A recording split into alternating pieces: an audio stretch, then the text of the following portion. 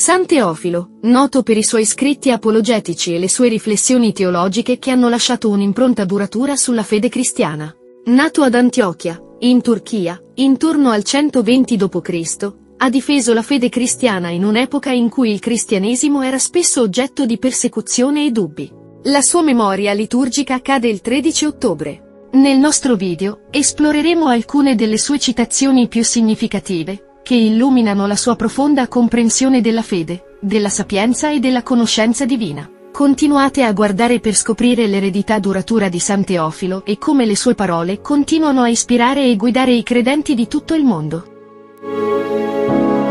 Come uno specchio risplendente, così deve essere pura l'anima dell'uomo.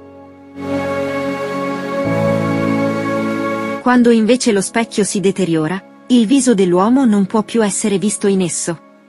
Allo stesso modo quando il peccato ha preso possesso dell'uomo, egli non può più vedere Dio. Per il fatto che i ciechi non vedono, non si può concludere che la luce del sole non brilla. Giustamente perciò essi attribuiscono la loro oscurità a se stessi e ai loro occhi. Se dici, fammi vedere il tuo Dio, io ti dirò, fammi vedere l'uomo che è in te, e io ti mostrerò il mio Dio. Fammi vedere quindi se gli occhi della tua anima vedono e le orecchie del tuo cuore ascoltano. Fa vedere se per caso non sei operatore di cose indegne, ladro, calunniatore, iracondo, invidioso, superbo, avaro, arrogante con i tuoi genitori. Dio non si mostra a coloro che operano tali cose, se prima non si siano purificati da ogni macchia. Tu hai gli occhi della tua anima annebbiati per i tuoi peccati e le tue cattive azioni. Affidati al medico ed egli opererà gli occhi della tua anima e del tuo cuore. Chi è questo medico? È Dio, il quale per mezzo del verbo e della sapienza guarisce e dà la vita.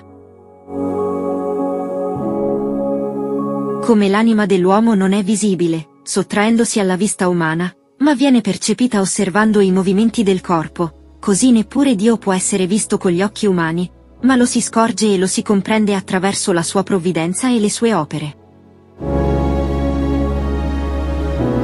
Se l'uomo non può fissare lo sguardo sul Sole, che è una stella piccolissima, a causa della sua eccessiva luminosità, a maggior ragione, come potrà chi è mortale contemplare la gloria di Dio, che è indescrivibile?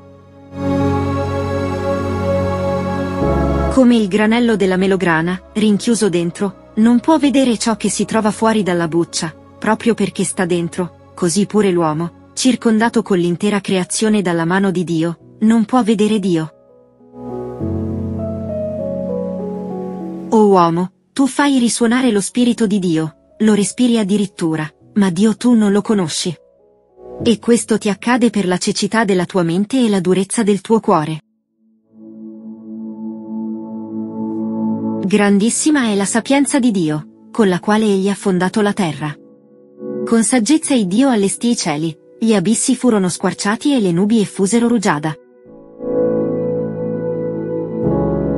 Se comprendi queste cose, o uomo, e vivi in purezza e santità e giustizia, puoi vedere Dio. Anzitutto, però, entrino nel tuo cuore la fede e il timore di Dio, allora comprenderai queste cose. Quando avrai deposto la tua mortalità e ti sarai rivestito dell'immortalità, allora vedrai Dio secondo i tuoi meriti. Grazie per aver condiviso con noi questa profonda esplorazione delle citazioni di San Teofilo di Antiochia.